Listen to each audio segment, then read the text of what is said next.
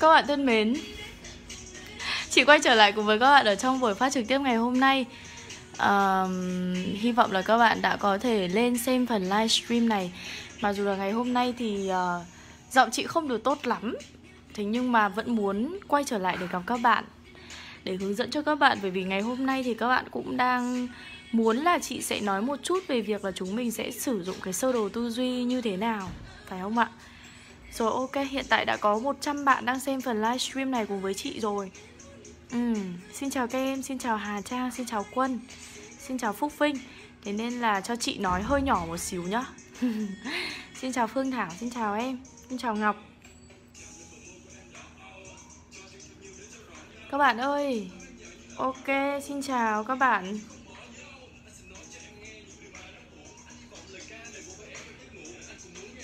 Ừ, xin chào các bạn.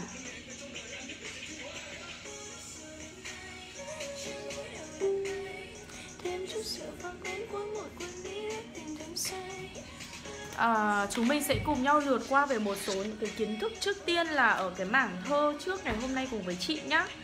Hôm nay thì các bạn đã nhận được cái phần bộ tài liệu tóm tắt chưa ạ? Đây ạ. Chúng ta sẽ cùng nhau lượt lại cùng với chị cùng nhau ôn kiến thức cùng với chị ở trong buổi ngày hôm nay. Ok không nào? Rất là ít khi mà chúng mình có thời gian để ôn tập cùng với nhau cụ thể về các tác phẩm như thế này Thế nên là chị mong là các bạn có thể nhiệt tình hưởng ứng để thêm một lần nữa chúng mình có thêm cái thời gian Để chúng mình cùng ôn thật là chi tiết, kỹ lưỡng và tỉ mỉ giúp cùng với chị Ok chưa nào? Nếu mà bạn nào đã có rồi á thì có thể in ra nhá Chị sẽ hướng dẫn các bạn cách mà các bạn học như thế nào với ngày hôm nay À có rất là nhiều bạn chưa nhận được đúng không? Ngày hôm nay thì cái phần miễn phí á Hôm nay ở cái phần miễn phí á Thì các bạn sẽ chỉ nhận được ừ, phần thơ thôi. Nhưng mà khi mà các bạn tham gia vào cái khóa cốt văn ấy Thì chúng mình sẽ cùng nhau nhận được hết cả phần văn xuôi nữa. Đấy à, Thế nên là chị rất là mong là ngày mai trong buổi khai giảng lớp cốt Thì có thể gặp được các bạn bởi vì là hôm nay và ngày mai là cái ngày đăng ký cuối cùng của lớp cốt văn. Với những bạn nào mà đang mong muốn cái mục tiêu của mình được 4 trên 5 điểm phần nghị luận văn học, Thì các em hãy nhanh tay đăng ký khóa cốt. Đây cũng coi như là một cái cơ hội cuối cùng của các bạn đấy, Thực sự là như vậy. Đó Thế nên là nếu như mà bạn nào mà còn chưa đăng ký khóa cốt mà mong muốn là nhận được thêm nhiều tài liệu hay này Rồi thì mong muốn là sẽ được 4 trên 5 điểm nghị luận văn học này Thì chúng mình sẽ gặp nhau ở trong khóa cốt nhá Ok chưa nào? À, văn em thi được 8 rưỡi à? Đỉnh thế, cố gắng nhá à, Chị thấy là các bạn ấy Tầm này các bạn thông báo kết quả cho chị Và kiểu chị cảm thấy vui khủng khiếp luôn á Tại vì là kết quả của các bạn học kỳ này tốt lắm Đặc biệt là các bạn học sinh ở trong lớp online của chị rất là tốt. Chị cảm thấy cực kỳ là vui và hạnh phúc về điều đó, Thực sự là như vậy. Và đúng là những cái gì mà team chị Hiên đang làm, Đang đi đúng hướng và định hướng cho các bạn đúng hướng. Bạn nào mà chưa được xác nhận Thì các em nhanh chóng nhắn tin về fanpage để hoàn thành đăng ký nha. Bởi vì là nếu như mà các bạn mà không vào kịp Thì coi như mình sẽ lỡ mất cái cơ hội cuối cùng để học cùng với chị đấy mà biết đâu là ở trong cái khóa học này sẽ là cái phần mà uh, giúp cho các bạn thi tốt nhất thì sao? Đúng không ạ? Uh, em ơi em chủ động nhắn tin lại cho fanpage học văn chị hiên để xác nhận nha. Hôm nay thì rất là nhiều tin nhắn giống như kiểu là các anh chị admin từ chiều từ từ, từ sáng đến giờ đã phải làm việc cực kỳ là vất vả luôn. Đó thế nên là có thể là sẽ chậm hơn một chút. Nên chị mong là các bạn sẽ uh, chú ý các em sẽ chú ý giúp chị. Chúng mình sẽ cùng đợi một chút xíu nhá. Chúng mình sẽ cùng đợi một chút xíu. Được không nào? Uhm, Nhiều bạn hỏi chị là Chị ơi Cái khóa cốt đấy nếu như mà em bị trùng lịch thì sao? Thật ra là cái vấn đề khá là đơn giản ở việc là chị sẽ để lại những cái phần video clip cho các bạn sau những cái phần phát trực tiếp. Thế nên các em có thể chủ động xem lại được. Đó. Thế nên là các bạn uh, các em sẽ cố gắng tham gia vào cái khóa học cuối cùng này cùng với chị ở phần nghị luận văn học. Bởi vì là chị mong là à, với cái phần này thì các bạn sẽ nỗ lực để có thể à, đạt được những cái số điểm cao nhất và một trong những cái tín hiệu rất là tích cực của chị trong thời gian vừa rồi đó là các bạn tham gia vào các khóa học của chị. Dù là miễn phí hay là những cái khóa học có học phí thì các bạn ấy đều đạt được những cái thành tích rất là đáng nể phục và chị rất là vui về điều đó. Ok, xin chào các em, xin chào Thanh Trúc, xin chào Văn Võ. À, thôi dừng lại ở đây nhá. Chúng mình sẽ cùng với nhau hướng dẫn cho các bạn về cái phần nếu như chúng mình có sơ đồ tư duy rồi thì chúng ta sẽ làm như thế nào luôn. Ok không ạ? Uhm, xin chào Duy Nguyện, xin chào em, xin chào Hoài Dịu Chị ơi chào em đi. Chị chào các bạn rồi, đúng không? Ok, 400 bạn rồi. Chúng mình sẽ cùng bắt đầu luôn cái phần livestream ngày hôm nay cùng với chị nhá. Chị sẽ nói một tràng luôn. Và chị mong là các bạn sẽ có thể ờ, Trong cái lúc mà chị nói ấy, Thì chị sẽ rất là hạn chế về cái việc là Là trả lời những cái comment của các bạn Nên là chị mong là các bạn sẽ bình tĩnh được không ạ? Có những cái gì thắc mắc thì một lát nữa sau khi chị giảng xong chị nói xong thì chúng ta sẽ bàn luận với nhau sau. Ok chưa nào? Thì ở trong mỗi cái buổi học của khóa cốt văn mà khai giảng vào ngày mai thì trước tiên chị sẽ khái quát cho các bạn về kiến thức của cái tác phẩm đó đã. Thì ngày hôm nay chị sẽ khái quát cho các bạn về kiến thức của bài thơ Tây Tiến. Ok chưa ạ? Các bạn ơi, các bạn nhìn vào đây ạ. Chúng ta có thi phẩm Tây Tiến là một trong số những tác phẩm vô cùng nổi tiếng của nhà thơ Quang Dũng. Mà khi bất cứ khi tìm hiểu về bất cứ một tác phẩm nào thì chúng mình cũng sẽ phải như thế nào nhỉ? À chúng mình cũng sẽ phải chú trọng tới hai cái vấn đề, hai cái mảng kiến thức chính là về tác giả và về tác phẩm. Chúng ta sẽ cùng nhau đi tìm hiểu nhé. Trước tiên này, tác giả nhà thơ Quang Dũng được biết tới với hình ảnh của một người nghệ sĩ đa tài, vừa biết vẽ tranh, biết viết văn, biết soạn nhạc, biết làm thơ, thứ gì Quang Dũng cũng làm giỏi cả. Thế nhưng Quang Dũng lại được bạn đọc biết tới trước tiên với tư cách của một nhà thơ. Là một trong số những nhà thơ trưởng thành vào thời kỳ kháng chiến chống Pháp. Thế nên là à, bản thân Quang Dũng như thế nào nhỉ? À, bản thân Quang Dũng à, được coi là một nhà thơ chiến sĩ những đề tài mà người nghệ sĩ này thường khai thác bao gồm người lính quê hương. Về quê hương thì thường viết về xứ đoài mây trắng. Và phong cách nghệ thuật hồn thơ của nhà thơ Quang Dũng được khái quát bởi bốn từ hồn hậu, phóng khoáng, lãng mạn và tài hoa. À, thế thì đây là cái vùng kiến thức mà các bạn cần phải nắm về nhà thơ Quang Dũng để chúng mình có thể học phần mở bài này. Chúng ta có thể làm phần mở bài này, có thể kết hợp viết trong phần thân bài này, thậm chí là sử dụng những vùng kiến, kiến thức này để viết cả cái phần kết bài nữa. Đúng chưa nào? Thì đây, chị nhắc nhớ lại cùng với các bạn Thế thì nếu như mà các em ôn tập lại cùng với chị á Thì các bạn sẽ diễn đạt uh, những cái hiểu biết của các em thành một cái đoạn văn luôn Ví dụ như thế này trong nền văn học Việt Nam hiện đại, nhà thơ Quang Dũng được biết tới là một người nghệ sĩ đa tài, vẽ tranh, viết văn, soạn nhạc, làm thơ, thứ gì người nghệ sĩ này cũng làm giỏi cả. Thế nhưng, Quang Dũng lại được bạn đọc biết tới trước tiên với tư cách của một nhà thơ. Quang Dũng mang trong mình hình ảnh của một nhà thơ chiến sĩ trưởng thành vào thời kỳ kháng chiến chống Pháp. Đề tài mà người nghệ sĩ này thường khai thác là đề tài về người lính và quê hương xứ đoài mây trắng của mình. Phong cách nghệ thuật, hồn thơ của Quang Dũng mang đậm sự hồn hậu, phóng khoáng, lãng mạn và tài hoa. Ok chưa nào? Có rất là nhiều bạn hỏi chị về việc là chị ơi, có phải Quang Dũng là hiện tượng nhà thơ một bài không chị?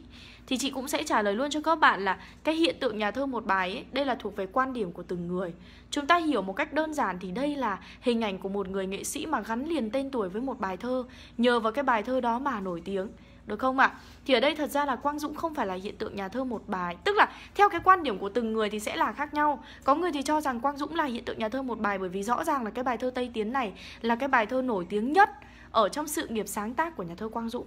Thế nhưng bên cạnh đó thì Quang Dũng cũng có một số những cái bài thơ khác như là bài uh, gì ạ? Đôi mắt người sơn tây này, vân vân đôi bờ vân vân, được không ạ? Thế nhưng mà theo quan điểm của từng người nhìn nhận, ví dụ Đối với bản thân của chị, chị đánh giá Quang Dũng là hiện tượng nhà thơ một bài. Bởi vì với cái bài thơ Tây Tiến này Thì Quang Dũng đã đến gần hơn với độc giả rất là nhiều Và được độc giả biết tới trước tiên Hầu hết là bởi từ cái bài thơ này. Ok chưa ạ? Thì đó là về tác giả Quang Dũng nhá. Chị đã vừa khái quát lại, các bạn nhớ ghi nhớ giúp chị nha Tiếp tục này.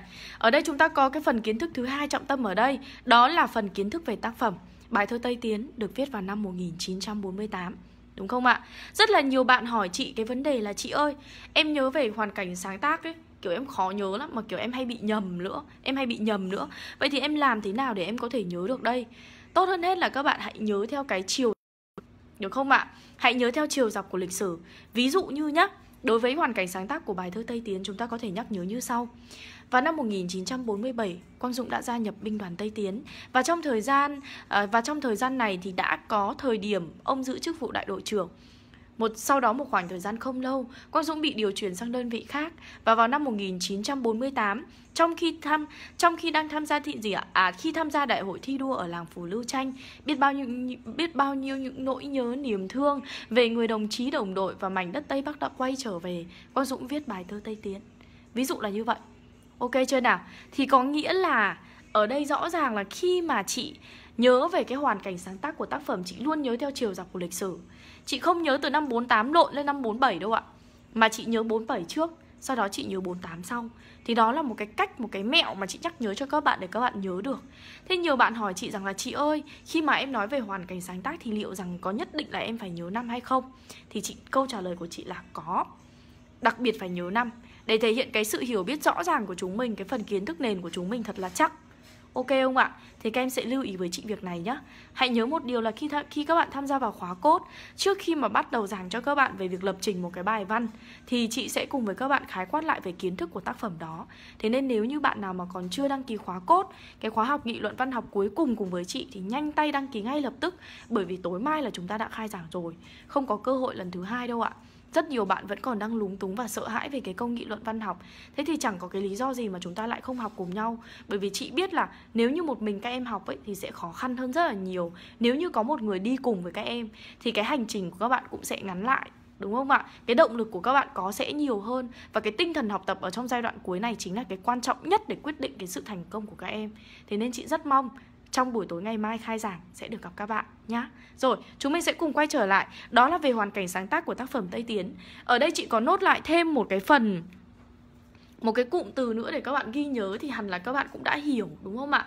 Bài thơ này thì ban đầu có tên là Nhớ Tây Tiến Nhưng mà sau đó thì đã được đổi tên thành Tây Tiến Bởi vì nói theo cách của Quang Dũng thì Quang Dũng nói rằng là Chỉ cần nhắc tới cái cụm từ Tây Tiến thôi Thì biết bao nhiêu những nỗi nhớ niềm thương đã quay trở về rồi Thế nên từ nhớ ở đây là thừa thãi Ok chưa nào? Nhá. Ở đây các bạn nhìn này, về phần nội dung của tác phẩm Tây Tiến chị chia làm 3 phần. Phần thứ nhất đó là 14 câu thơ đầu, hình ảnh về người lính Tây Tiến trên phong nền của thiên nhiên miền Tây trong những chặng đường hành quân gian khổ. 8 câu thơ tiếp theo, chị nói về kỷ niệm về một đêm liên hoan văn nghệ đốt lửa trải vào một buổi chiều sông nước Tây Bắc mênh mang mờ ảo. Và đoạn thứ ba, chúng ta có về hình tượng người lính Tây Tiến mang trong mình những cái phẩm chất tốt đẹp, hào hùng, hào hoa, lãng mạn và bi tráng. Ok chưa ạ? Thì các bạn sẽ nhìn ở đây này Trước tiên chúng mình có 14 câu thơ đầu Ok không ạ? Chị chia bố cục thơ như sau Như chị đã nói cùng với các bạn khi mà phân tích thơ ấy Thì cái việc định hình ra bố cục của cái đoạn thơ đó như thế nào Mỗi ý của từng phần ra sao là một cái điều rất là quan trọng Thì ở đây chị đã chia bố cục là 2, 2, 2, 2, 2 Ok không ạ? À các bạn nhìn thấy được không ạ? 2, 2, 4, 2, 2, 2 Ok chưa? Các bạn ơi, các em nhìn thấy chưa ạ? Rõ ràng chúng ta nhìn thấy rằng là khi mà làm cái sơ đồ tư duy này cùng với các bạn Thì chị đã gọi là rất là kỹ lưỡng trong việc là chị chia tách bố cục cho các bạn luôn Đúng không ạ? Đã ai ở đây nhận được sơ đồ tư duy của chị rồi? Các bạn ơi, đã những ai ở đây đã nhận được sơ đồ tư duy của chị rồi ạ? À? Bạn nào đã nhận được sơ đồ tư duy của chị rồi ạ? À? Nào, bạn nào đã nhận được rồi? Ừ, chúng mình sẽ chỉ nhận được sơ đồ tư duy của tác phẩm thơ thôi Các tác phẩm thơ thôi. Còn lại tất cả cái bản full phần văn xuôi nữa Thì chúng ta sẽ hẹn nhau ở trong lớp cốt nhá. Đó sẽ là tài liệu trong lớp cốt của chúng mình luôn. Ok chưa nào? Các bạn ơi sao ạ? Đã có những ai nhận được rồi giơ tay chị xem nào. Chẳng thấy cảm ơn chị gì cả nhở? Lúc nào chị Hiên cũng dành tài liệu xịn sò cho các bạn Mà các bạn chả cảm ơn chị gì. Hôm nay chị rất là đau họng luôn ạ, Nhưng mà chị vẫn cố cùng với các bạn. Thực sự đấy chị rất là đau họng, nhưng mà chị vẫn cố cùng với các bạn bởi vì chị chị nghĩ là nếu như mà mình mình không không cố gắng và không nỗ lực cùng với các bạn thì nói chung là ở giai đoạn này là cái giai đoạn cực kỳ là quan trọng rồi. Đó. Chưa ạ? À? ô, chưa thật à em? Thế thì nhắn tin cho pet nhá các bạn nhắn tin cho pet giúp chị nhá, để nhận nhá Ok, chị quay trở lại cùng với các bạn trong 14 câu thơ đầu. Sau khi chị phân tích, chị phân chia thành bố cục ờ, Đơn giản hóa xong thì chị bắt đầu list ra các ý như sau này. Hai câu thơ đầu. Hình ảnh đầu tiên xuất hiện trong bài thơ Tây Tiến là dòng sông Mã. Đây là hình ảnh của dòng sông gắn liền với những chặng đường hành quân gian khổ của binh đoàn Tây Tiến. Và cũng là một trong những hình tượng biểu trưng cho vẻ đẹp thiên nhiên của mảnh đất Tây Bắc Hùng vĩ Hai từ gì ạ? Từ xa rồi được coi là điểm rơi thấp nhất của câu thơ này đặt ở giữa hai danh từ là Tây Tiến và sông Mã. Mang ý nghĩa là đã xa rồi sông Mã, đã xa rồi Tây Tiến. Bây giờ chỉ còn lại ở đây là những hoài niệm mà thôi. Nỗi nhớ ở đây được Quang Dũng đang nhắc tới đó là nỗi nhớ về thiên nhiên. Và nỗi nhớ ở đây được sử dụng với một cái từ thật là lạ Đó chính là từ chơi vơi. Y muốn nói về một cái cảm giác rất là mênh mang, rất là vô định. Và ở đây nội dung mà Quang Dũng muốn thể hiện đó chính là một cái nỗi nhớ rộng lớn. Được không ạ? Một cái nỗi nhớ vô cùng là lớn lao và rộng mở. Hai câu thơ tiếp theo chúng ta có những địa danh được nhắc tới đó là Sài Khao và Mường Lát. Đi kèm với đó là hình ảnh của một đoàn quân mỏi mệt đi giữa một cái biển sương mờ phủ lấp. Thế nhưng mà cái cảm giác mệt mỏi đó đã nhanh chóng uh, tan khi mà những người lính Tây Tiến bước tới Mường Lát Người thấy gì ạ? À? đón nhận cái hương hoa nở vào ban đêm Và chính cái cảm giác đó đã tạo cho người lính có thêm những cái sức mạnh để vững bước chân trong những cái chặng đường vất vả phía trước Bốn câu thơ tiếp theo là bốn câu thơ đặc tả về thiên nhiên miền Tây với hình ảnh của dốc, của núi, của vực. Đó là hình ảnh đặc tả về độ cao Núi thì cao vời vợi Vực thì sâu thăm thẳm à, Rất là chắc trở gập ghềnh Và đặc biệt có một cái hình ảnh nhân hóa được sử dụng ở đây Đó là hình ảnh súng ngửi trời Để cho chúng ta thấy được cái độ cao à, Cái tầm cao của núi cao đến cái mức mà Gì ạ? À, tưởng tượng như là súng mũi súng đang chạm đến mây Đúng không nào? Và chúng ta qua cái hình ảnh nhân hóa này thì cũng thấy được về cái sự dí dỏm và chất lính được truyền tải qua cái phần này, qua hai cái câu thơ này. Được không ạ? Tiếp tục chúng ta có hai câu tiếp theo nói về sự hy sinh của những người lính, thái độ coi thường cái chết và hiểm nguy. Hai câu thơ tiếp theo nói về sự nguy hiểm nơi rừng thiêng nước độc. Hai câu thơ tiếp theo nói về sự bình yên nơi bản làng thân thuộc và tình quân dân đượm đồng với hình ảnh à, mảnh đất Mai Châu và cụm từ mùa em. Đúng không ạ? Chúng ta thấy rằng là ở trong 14 câu thơ đầu này, Chúng ta đã bắt đầu, bản thân Quang Dũng đã bắt đầu cái khúc độc hành nỗi nhớ thương của mình bằng việc quay trở lại, tái hiện lại những cái ký ức tươi đẹp nhất về gì ạ? Những cái chặng đường, về tái hiện lại những cái ký ức về những chặng đường hành quân gian khổ, tái hiện lại những cái khung cảnh thiên nhiên, miền Tây vô cùng là tươi đẹp. Ở trong đó có sự dữ dội, nhưng mà cũng hàm chứa trong đó là sự bình yên.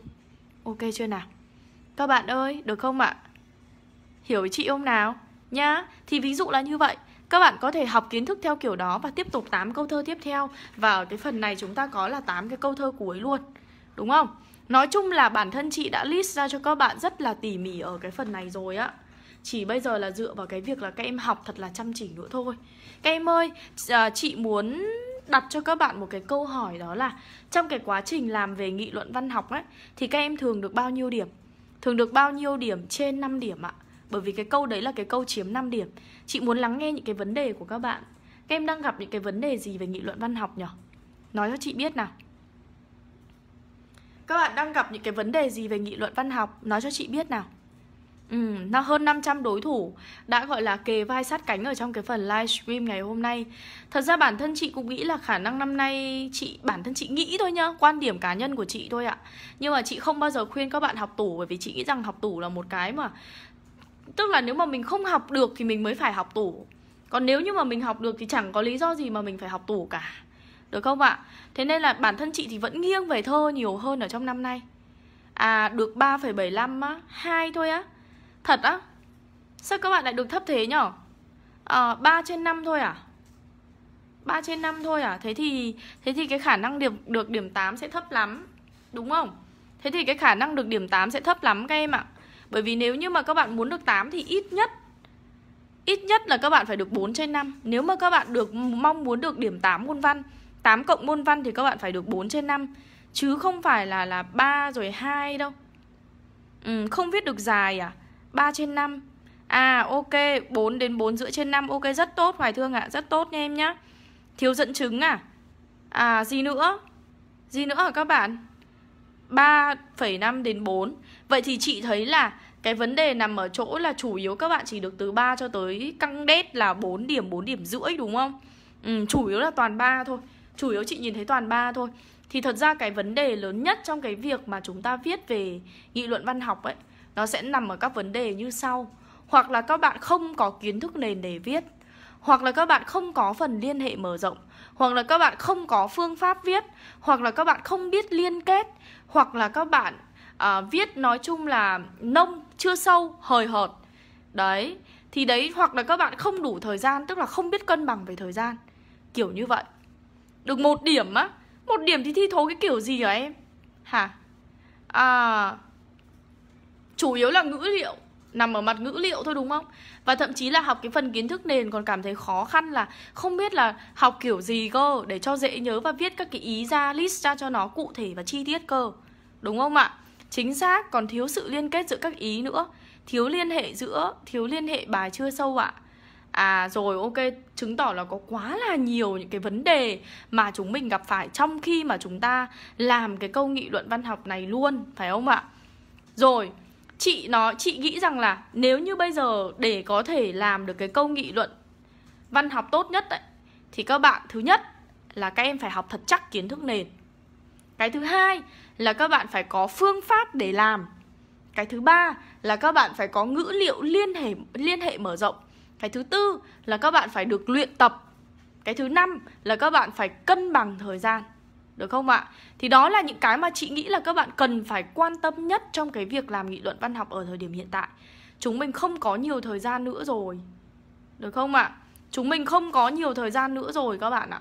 Thực sự là như vậy Bây giờ chỉ còn lại khoảng hơn 30 ngày nữa thôi Thời gian trôi nhanh một cách kinh khủng luôn đấy Chị thấy kiểu, Bản thân chị còn thấy thời gian trôi nhanh quá Bởi vì mới ngày nào chị còn bắt đầu cái khóa học cùng với các bạn Và bây giờ những cái khóa học online của chị cũng đã sắp kết thúc rồi Tức là chị cảm thấy một trôi nhanh một cách khủng khiếp luôn ấy Thực sự là như thế Và chị hiểu rằng là gì Chính vì thời gian trôi nhanh như vậy Nên chúng mình không được phép lãng phí bất cứ một ngày nào nữa À Rồi Thế nên là gì ạ? Thế nên là chị chị chị mong là gì? Chị mong là các bạn sẽ chủ động trong cái việc ôn luyện và đặc biệt cái câu nghị luận văn học là một trong số những cái câu rất là quan trọng. Chị nghĩ như thế này, những bạn nào mà đã học tốt rồi ấy thì các em sẽ tiếp tục phát huy. Ok chưa ạ? Còn những bạn nào mà học chưa được thì các em có thể đồng hành cùng với team học văn chị Hiên để học tốt hơn.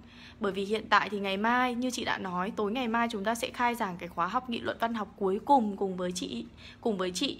Trong cái khóa học này chị sẽ chia sẻ với các bạn về rất nhiều thứ liên quan tới nghị luận văn học và chúng ta sẽ thực chiến luôn để cho các bạn có thể có được cái sự chuẩn bị tốt nhất để chinh phục ít nhất là 4 trên 5 điểm câu nghị luận văn học. Ok chưa nào? Thế nên là còn bạn nào mà chưa biết thông tin về khóa học này? Hay bạn nào đang cảm thấy cực kỳ băn khoăn về việc là Không biết làm thế nào để làm tốt cái câu đó? Thì chị mong rằng là các em có thể cho team học văn chị Hiên một cái cơ hội Để được đồng hành cùng với các bạn. Ok không ạ? Mong là các em sẽ cho team học văn chị yên được một cái cơ hội để được đồng hành cùng với các em Như chị đã nói, tất cả những bạn nào đã học tốt rồi thì các em sẽ tiếp tục phát huy Còn những bạn nào mà chưa ok lắm thì có thể đồng hành lựa chọn học văn chị yên Để trở thành một cái gì ạ? Điểm tựa đồng hành cùng với các em Ok không nào? Nhá. Nên là à, chị mong là cái phần tài liệu mà chị vừa tặng cho các bạn bao gồm sơ đồ tư duy về các cái tác phẩm thơ. À, khi mà tham gia vào khóa học thì chúng ta sẽ có sơ đồ tư duy về tất cả các tác phẩm khác. Thì chị hy vọng là các bạn có thể từ đây các bạn học hỏi. Đôi khi các bạn cũng có thể ngồi lại giống như chị ấy kem gạch ra. Kem gạch ra từng phần từng phần từng phần như thế này. Thì chúng ta sẽ nhớ rất là lâu và sau đó chúng ta ngồi chúng ta lại học tiếp về cách diễn đạt từng phần. Ok không ạ? Cách diễn đạt từng phần như thế này thì chị tin chắc chắn rằng là chúng ta sẽ tiến bộ nhanh thôi. Bây giờ phải học phải viết. Còn nếu mà không học không viết thì khó mà để gọi là có thể phát triển nhanh lắm. Nhá ok chưa nào? À, các bạn ơi à, bây giờ thì bởi vì ngày hôm nay sức khỏe chị cũng không được tốt cho lắm chị kiểu bị đau họng ấy rất là đau họng luôn ạ. Nhưng mà vẫn muốn cố phát trực tiếp cùng với các bạn. Tại vì là sợ có nhiều bạn vẫn chưa biết đến thông tin của khóa cốt và nhiều bạn vẫn chưa nhận được cái bộ tài liệu này nên là phải phải phát trực tiếp để thông báo với các em. Và chị hy vọng là các em sẽ nhận được bộ tài bộ tài liệu này và nó sẽ hữu ích đối với các bạn.